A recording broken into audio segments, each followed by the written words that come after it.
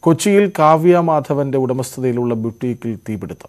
Edappally grand മാളിലെ ലക്ഷ്യ ബ്യൂട്ടിക്കിലാണ് തീപിടുത്തമുണ്ടായത്. പുലർച്ചെ നാല് മണിയോടെയായിരുന്നു സംഭവം.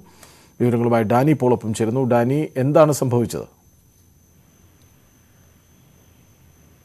ഇന്ന് പുലർച്ചെ നാല് മണിയോടുകൂടിയാണ് ആ തീപിടുത്തം ഉണ്ടായത്. അതിൽ ഷോർട്ട് സർക്യൂട്ടാണ് ഇതിന്റെ ഒരു കാരണമായിട്ടാണ് പ്രാഥമികമായ ഒരു വിലയിരുത്തൽ ഫയർഫോഴ്സിനടക്കം ഉള്ളത്.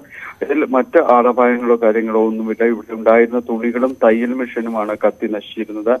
ഈ സംഭവം അറിഞ്ഞതിനെ തുടർന്ന് ഫയർഫോഴ്സ് ഉടൻ എത്തുകയായിരുന്നു. പുലർച്ചെ നാല് മണിയോടുകൂടിയായിരുന്നു സംഭവം. ഫയർഫോഴ്സ് എത്തി. ഇതിന്റെ ഇവിടുത്തെ തീ അണയ്ക്കുകയായിരുന്നു. ഇതിൽ ഇടപ്പള്ളി ഒരു മാളിലാണ്. ഗ്രാൻഡ് മാൾ എന്ന് പറയുന്ന മാളിലായിരുന്നു ലക്ഷ്യ ആ, ബുട്ടിക്ക് പ്രവർത്തനം മാറ്റിയിരുന്നത്.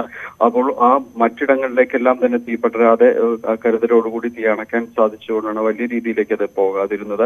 എന്തായാലും സംയോജിതമായി ഫയർഫോഴ്സ് അത് ഇടപെടുകയും തീ അണയ്ക്കുകയുമാണ് ഉണ്ടായത്. ഇപ്പോൾ പൂർണമായും തന്നെ അതെല്ലാം നിയന്ത്രണ വിധേയമാക്കി കഴിഞ്ഞിരിക്കുന്നു.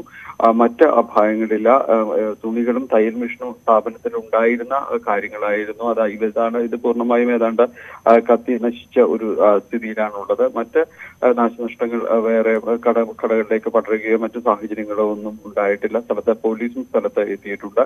മറ്റു കാരണങ്ങൾ പ്രാഥമികമായ കാരണം ഷോർട്ട് സർക്യൂട്ട് ആണ് എന്ന് നിശ്ചയിക്കുമ്പോൾ പോലും അത് വേറെ ഏതെങ്കിലും രീതിയിലേക്ക് മാറിയിട്ടുണ്ടോ എന്നതടക്കമുള്ള കാര്യങ്ങൾ പരിശോധിച്ചു വരികയാണ്.